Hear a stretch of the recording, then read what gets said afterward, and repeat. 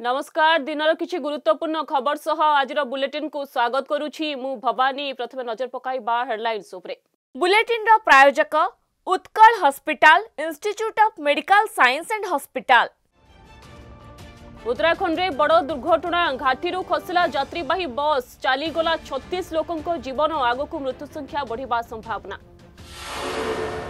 ଆସିଲା ବାତ୍ୟା ଦାନା କ୍ଷୟକ୍ଷତିର ହିସାବ। ଛଅଶହ କୋଟିର ହୋଇଛି କ୍ଷୟକ୍ଷତି ଅଧିକ କ୍ଷୟକ୍ଷତି ହୋଇଛି ବାଲେଶ୍ୱର ଭଦ୍ରକ ଏବଂ କେନ୍ଦ୍ରାପଡ଼ା ଜିଲ୍ଲା। ମାଣ୍ଡିପଙ୍କାରେ ପହଞ୍ଚିଲେ କନ୍ଧମାଳ ଜିଲ୍ଲାପାଳ ଅମୃତ ଋତୁରାଜ। ମୃତକ ଗୁରୁତରଙ୍କ ପରିବାର ଲୋକଙ୍କୁ ଭେଟି କଲେ ଆଲୋଚନା। ଏପଟେ ଜନସ୍ୱାସ୍ଥ୍ୟ ନିର୍ଦ୍ଦେଶକ କହିଲେ କଟକରେ ଚିକିତ୍ସାଧୀନ ଥିବା ଦୁଇ ରୋଗୀଙ୍କର ହୋଇଛି ହେପାଟାଇଟିସ୍। ରାଉରକେଲା ପ୍ଲାଣ୍ଟ ସାଇଟ୍ ଥାନା ଟ୍ରାଫିକ୍ ଗେଟ୍ ନିକଟରେ ଜଣେ ଯୁବକଙ୍କୁ ଗୁଳିମାଡ଼ ପିଠିରେ ବାଜିଛି ଗୁଳି। ଆଇଜିଏଚ୍ରେ ହେଉଛନ୍ତି ଚିକିତ୍ସିତ। ବର୍ତ୍ତମାନ ନଜର ପକାଇବା ସମ୍ପୂର୍ଣ୍ଣ ଖବର ଉପରେ। ଉତ୍ତରାଖଣ୍ଡରେ ବଡ଼ ଦୁର୍ଘଟଣା। ଘାଟିରୁ ଖସିଲା ଯାତ୍ରୀବାହୀ ବସ୍। ଉତ୍ତରାଖଣ୍ଡର ଆଲୋମୋଡାରେ ଏକ ଭୟଙ୍କର ବସ୍ ଦୁର୍ଘଟଣା ହୋଇଛି। ଦୁର୍ଘଟଣାର ଶିକାର ହୋଇଥିବା ବସ୍ ନୈନିଦାଣ୍ଡ କିନାଥରୁ ଯାତ୍ରୀମାନଙ୍କୁ ନେଇ ଯାଉଥିଲା। ବସ୍ ରାମନଗର ଯିବାକୁ ଥିଲା। ବସ୍ଟି ସରାଦ ବେଣ୍ଡ ନିକଟ ନଦୀରେ ଖସି ପଡ଼ିଥିଲା।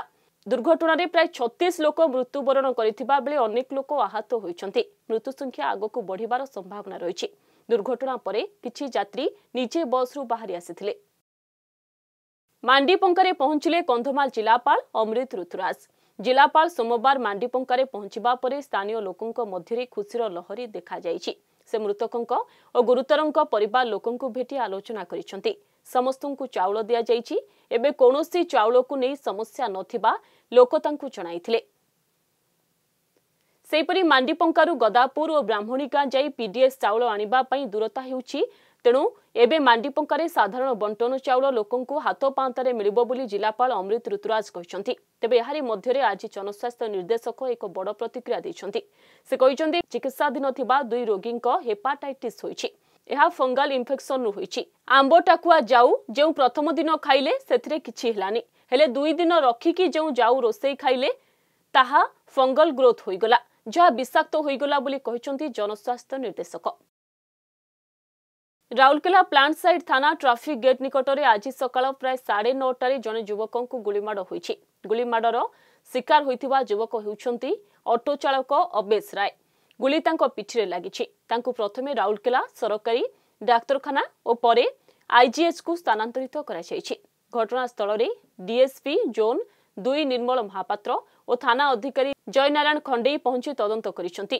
পারিবারিক শত্রুতা কেন্দ্র করে এভাবে হয়েছে অনুমান করা যাই প্রায় চৌদ বর্ষ পূর্বে আবেশ এক ডবল মর্ডর কেস্রে জেল দণ্ড ভোগি সারি জনাপড়ি যাত্রার কলা পরিবেশন না খোলাখোলি অঙ্গ প্রদর্শনর একাধিক ঘটনা সামনা আসা পরে এবে এতে অঙ্কুশ লগাইবা যোজনা করছেন রাজ্য সরকার খুব শীঘ্র আসব যাত্রা গাইডলাইন এই সূচনা দিয়েছেন সংস্কৃতি মন্ত্রী সুরজ সূর্যবংশী মন্ত্রী কিন্তু କିଛି ଦିନ ହେବ ଯାତ୍ରାରେ ଅପସଂସ୍କୃତି ଆରମ୍ଭ ହୋଇଛି। ଏଥିରେ ରୋକ ଲଗାଇବା ପାଇଁ ସଂସ୍କୃତି ବିଭାଗ ପକ୍ଷରୁ ଯେଉଁ ସହଯୋଗ ଆବଶ୍ୟକ ପଡ଼ିବ ଆଇନ ବିଭାଗକୁ ଆମେ ସହଯୋଗ କରିବୁ। ଅଶ୍ଳୀଳତାକୁ ନେଇ କେବଳ କମିଟିକୁ ଦାୟୀ କଲେ ହେବନି ଦର୍ଶକମାନେ ବି ଦାୟୀ। ତେଣୁ ଆମ ମାନସିକତାରେ ସ୍ୱଚ୍ଛତା ଆଣିଲେ ଯାତ୍ରାରେ ଅଶ୍ଳୀଳତା କମିବ। ଅଶ୍ଳୀଳତାକୁ ଯେପରି ମଞ୍ଚରେ ଆଉ ସ୍ଥାନ ମିଳିବନି ସେ ନେଇ ସରକାର ତର୍ଜମା କରିବେ। ରାଜ୍ୟରେ ବାତ୍ୟା ଦାନା ଘଟାଇଥିବା କ୍ଷୟକ୍ଷତିର ଆସିଲା ରିପୋର୍ଟ। କ୍ଷୟକ୍ଷତି ନେଇ ରାଜସ୍ୱ ମନ୍ତ୍ରୀ ସୁରେଶ ପୂଜାରୀ ସୂଚନା ଦେଇ କହିଛନ୍ତି ପ୍ରାଥମିକ ଆକଳନ ଅନୁସାରେ କ୍ଷତି ପ୍ରାୟ ଛଅଶହ କୋଟି ହୋଇଛି। ବିଶେଷ କରି ବାଲେଶ୍ୱର ଭଦ୍ରକ ଏବଂ କେନ୍ଦ୍ରାପଡ଼ା ଜିଲ୍ଲା ବେଶୀ କ୍ଷତିଗ୍ରସ୍ତ ବୋଲି ମନ୍ତ୍ରୀ କହିଛନ୍ତି। ଏତଦ୍ ବ୍ୟତୀତ ମୟୂରଭଞ୍ଜ ଯାଜପୁର ଜଗତସିଂହପୁର କଟକ ମଧ୍ୟ ପ୍ରଭାବିତ ହୋଇଛି। ପଞ୍ଚାୟତିରାଜ ବିଭାଗ ଛଡ଼ା ଅନ୍ୟ ସବୁ ବିଭାଗରୁ ରିପୋର୍ଟ ଆସିଛି। ତେବେ ସନ୍ଧ୍ୟା ସୁଦ୍ଧା ସବୁ ରିପୋର୍ଟ ମିଳିବା ପରେ ମିଳିଲା ପରେ ଚୂଡ଼ାନ୍ତ ହିସାବ କରାଯିବ।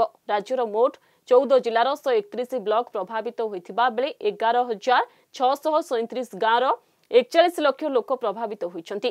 ଷୋହଳ ହଜାର ଚାରିଶହ ସତର ଘର ପ୍ରଭାବିତ ହୋଇଥିବା ବେଳେ ସତେଇଶ ଘର ସମ୍ପୂର୍ଣ୍ଣ କ୍ଷତିଗ୍ରସ୍ତ ହୋଇଛି। ଚଉଦ ହଜାର ଛଅଶହ ଅଶୀ ଘର ଆଂଶିକ ଭାବେ କ୍ଷତିଗ୍ରସ୍ତ ହୋଇଛି। ହିସାବ ଭିତ୍ତିରେ ଶକ୍ତି ବିଭାଗ ବେଶୀ କ୍ଷତିଗ୍ରସ୍ତ ହୋଇଛି। ଚୂଡ଼ାନ୍ତ ରିପୋର୍ଟ ଆସିବା ପରେ ପ୍ରକୃତ କ୍ଷୟକ୍ଷତି ସ୍ପଷ୍ଟ ହୋଇ କ୍ଷତିଗ୍ରସ୍ତକୁ ସହାୟତା ପ୍ରଦାନ କରାଯିବ ବୋଲି ମନ୍ତ୍ରୀ କହିଛନ୍ତି। ସମୟ ହୋଇଛି ବୁଲେଟିନକୁ ଏଇଠି ରଖିବା ଅଧିକ ଖବର ପାଇଁ ଲଗ୍ଇନ୍ କରନ୍ତୁ W W W dot Dharitri dot com ନମସ୍କାର